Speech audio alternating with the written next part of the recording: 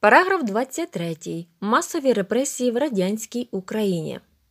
Терор голодом 1932-1933 років шокував багатьох представників большевицької керівної ланки, не бажаючи бути учасниками злочинної структури, що на неї перероджувалася компартійно-радянська олігархія на чолі зі Сталіним, вони почали шукати шляхи до виправлення становища.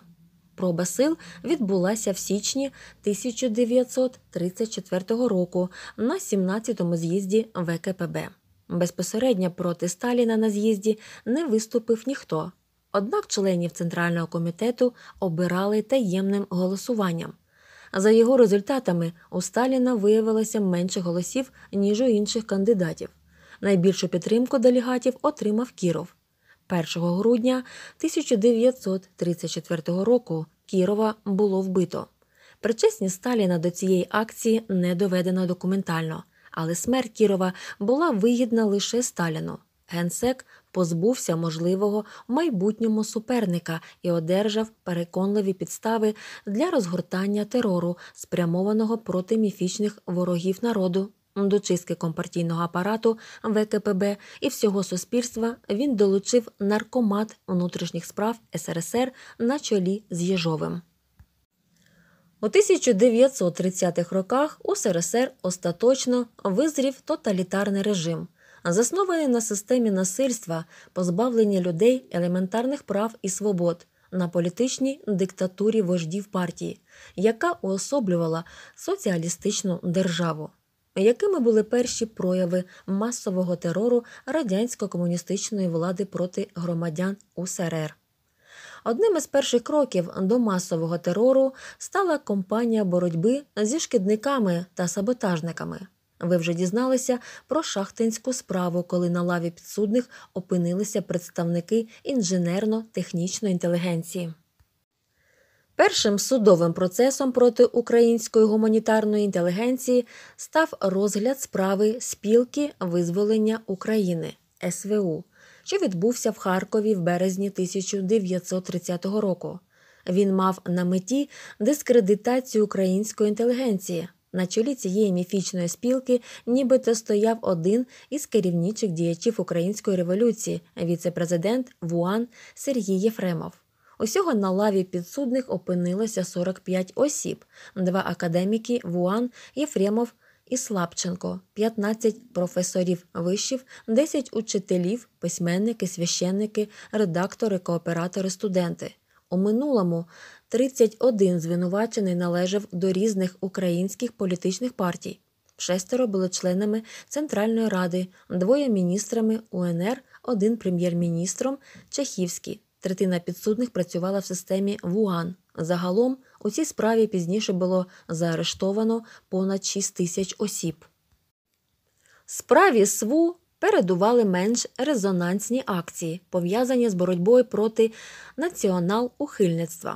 Кожен з ухилів уособлював певну групу потенційно опозиційних режиму сил, шумськізм працівників радянського і партійного апаратів хвильовізм, творчу інтелігенцію, Волобуєвщина, наукову інтелігенцію, Скрипниківщина, так звану Ленінську гвардію.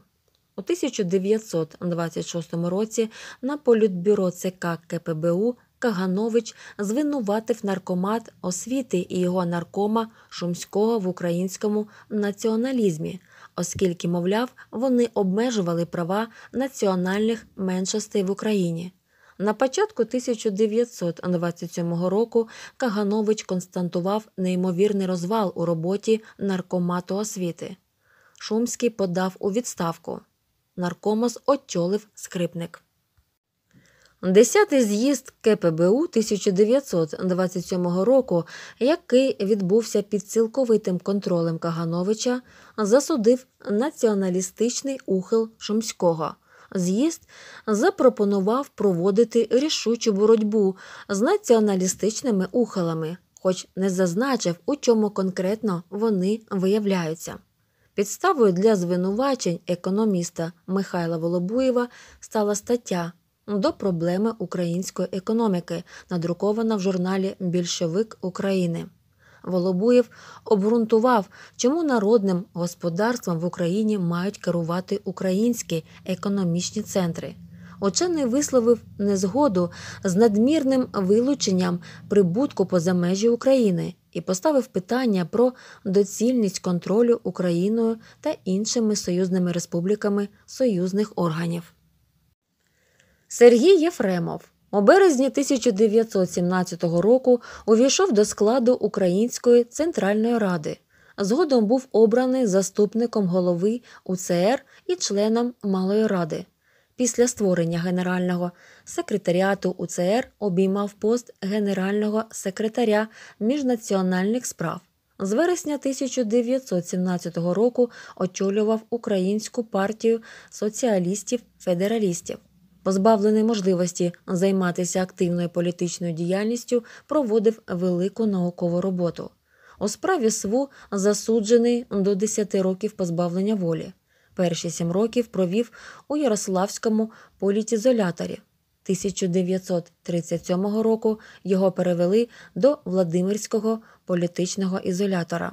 Помер за офіційними даними в березні 1939 року в одному з таборів Гулагу.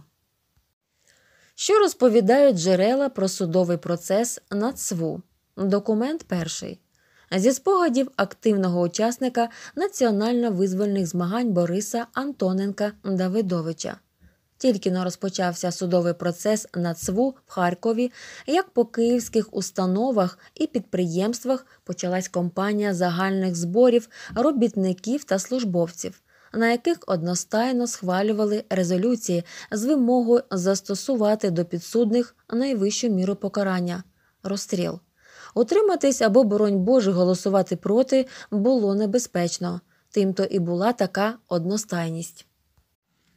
Їхати до Харкова треба було з двох причин. По-перше, не виключено, що наступного дня прийдуть до мене брати заднім числом той підпис або ще зажадають належного інтерв'ю. А по-друге, треба кінець кінцем дізнатись, що ж справді відбувається на сцені Харківської опери. Радіопередача про перший день процесу, яку я слухав через навушники, бо гучномовців ще не було, вразила не тільки мене. Підсудні, починаючи з Єфремова, вважали за слушний обвинувачальний висновок, котрий закидав їм терор, готування до повстання та всі ті смертні гріхи, за які розплата могла бути тільки ціною життя. Але коли допит підсудних дійшов до Петра Холодного з Чернігова, той категорично відкинув його, і засідання суду перервали до вечора, а всіх підсудних одвезли до тюрми. Якась пружина в механізмі добре злагодженого процесу несподівано зіпсувалась, її треба було конче спішно відремонтувати. На це пішло півдня, і вечірнє засідання почалося знову з допиту холодного. Цього разу він беззастережно визнав обвинувачення за слушне, і допит решти підсудних пройшов зовсім гладко. Чому сталася через кілька годин перерви така зміна в поведінці холодного, ми дізнаємось далеко пізніше, а тим часом годі було чимось пояснити її і зрозуміти. Якою була природа партійно-радянського апарату в СРСР, у чому сутність великого терору і як він відбувався?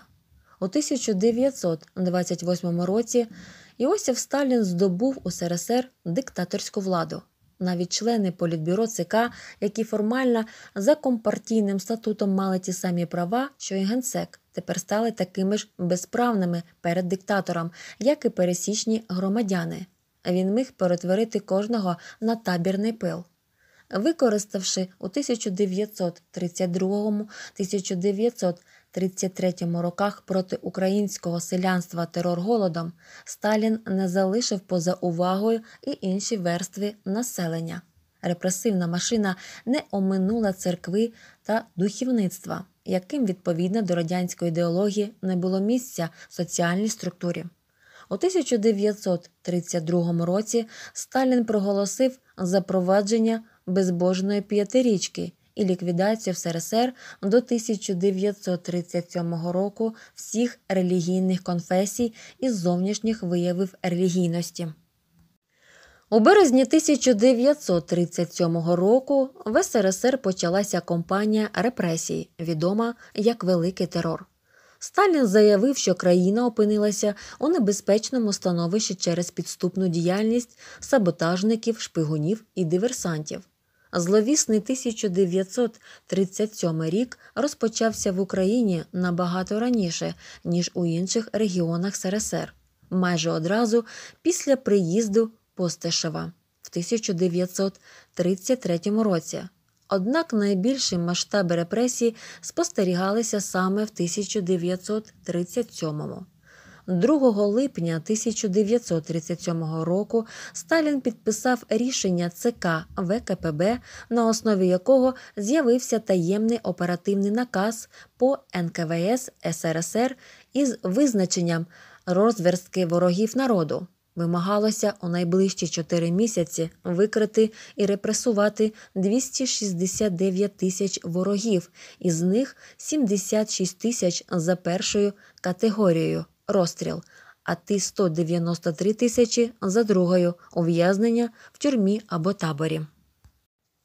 Щоб полегшити виявлення такої кількості ворогів народу, чекістам офіційно було дозволено використовувати фізичні методи впливу на допитуваних. Під тортурами люди часто визнавали себе винними у скоєнні найхимерніших злочинів, давали неправдиві свідчення проти знайомих і навіть рідних.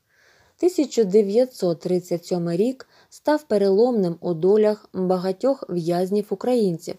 Так в урочищі Сандермоху Карелії Росія упродовж кількох днів з 27 жовтня до 4 листопада 1937 року вбили 1111 осіб. У розстрільному списку тих днів було вказано прізвища 201 в'язня українця, серед яких видатні діячі української культури Лесь Курбас, Микола Куліш, Валер'ян Підмогильний, Микола Зеров. Найбільше в Україні місце поховання жертв масових політичних репресій розташовано в Биківнянському лісі поблизу Києва. Саме тут 1936-1941 років таємно ховали розстріляних органами НКВС репресованих осіб, зрівнюючи могили із землею.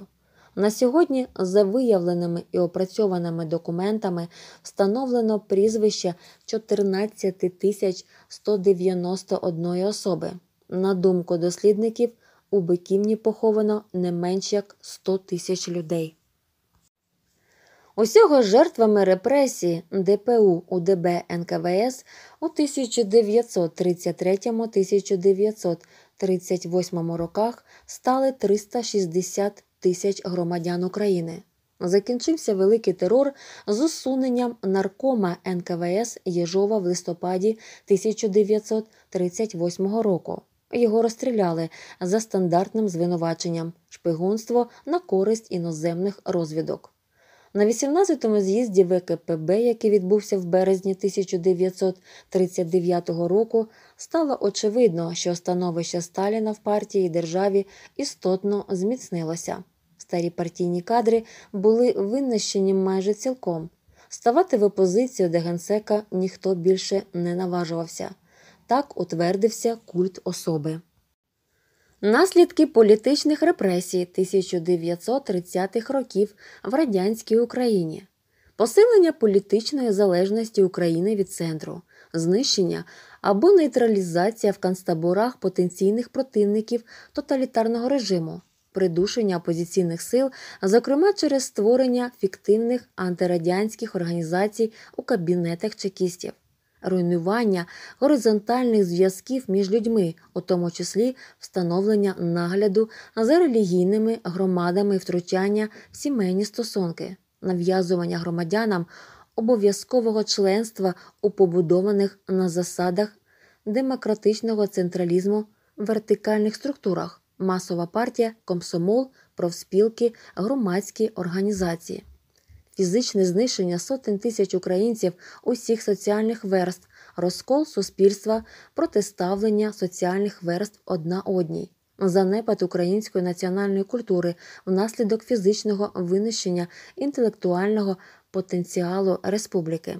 Підтримка головного стимулу до праці на державу страху, забезпечення системи таборів ГУЛАГу дармовою робочою силою.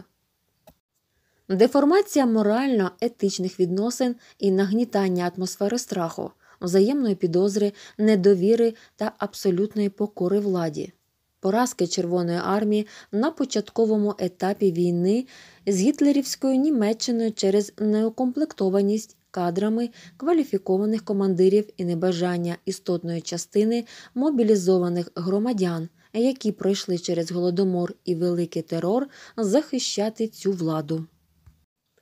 Чи діяли норми нової Конституції СРСР?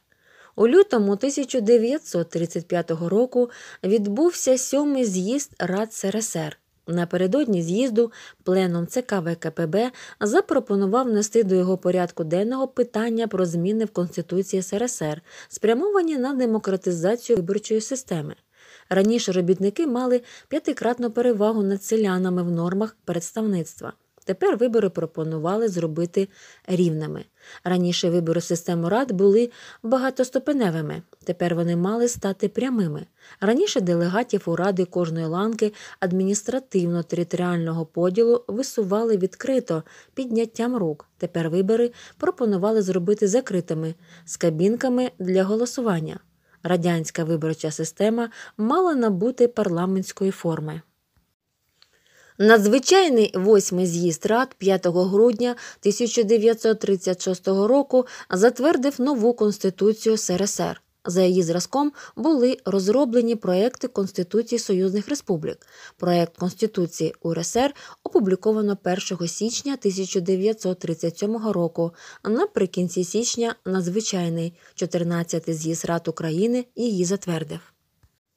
Утім, радикальна зміна виборчої системи не позначилася на реальній владі, адже ради не були самостійною владою у своїй традиційній формі. Однак демократична процедура виборів створювала загрозу для диктатури партійних комітетів. Виборці могли обрати тих, кого вони хотіли, а не рекомендованих райкомом партії цілком лояльних людей. Щоб такого не трапилося, на кожне місце в системі рад висувався тільки один кандидат від блоку комуністів і безпартійних. У бюлетені для таємного голосування друкувалося тільки прізвище цього кандидата і назва колективу виборців, який його висував. Щоб висловити своє позитивне ставлення до кандидата, виборець не повинен був робити будь-яких позначок у бюлетені, а просто опустити його в урну. Щоб викреслити прізвище кандидата, йому треба було зайти в кабінку для таємного голосування. Однак за умов масових репресій майже не знаходилося сміливців, які наважувалися б викреслити прізвище офіційно схваленого єдиного кандидата від блоку комуністів і безпартійних.